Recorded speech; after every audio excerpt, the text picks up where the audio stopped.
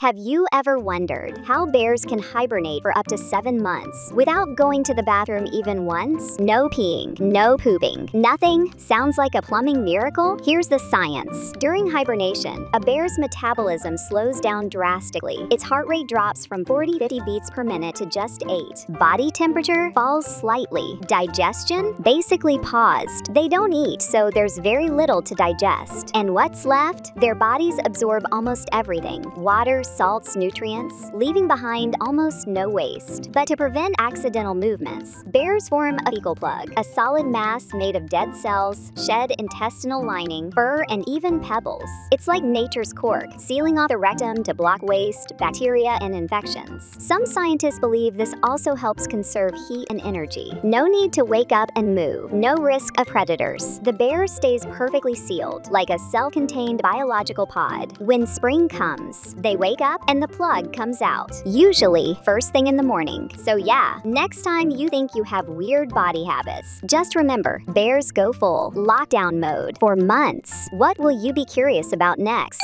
Stay tuned.